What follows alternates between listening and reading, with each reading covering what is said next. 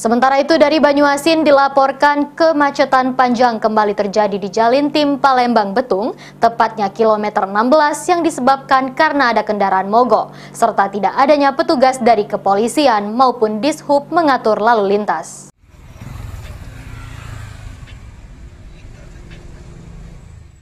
Kemacetan panjang terjadi di jalan lintas timur, tepatnya di kilometer 16, disebabkan karena truk mengalami pecah terumbung roda belakang.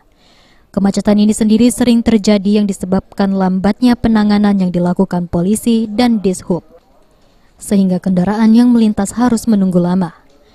Dari informasi yang diperoleh, setidaknya truk yang pecah terumbung sudah terjadi sekitar pukul 1 siang.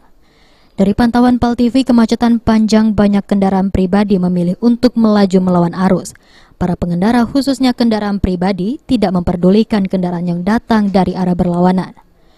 Pengendara hanya berharap macet yang terjadi tidak sampai berkepanjangan karena biasanya bila jalin tim terjadi kemacetan akan terjadi sangat lama. Sulaiman, PAL TV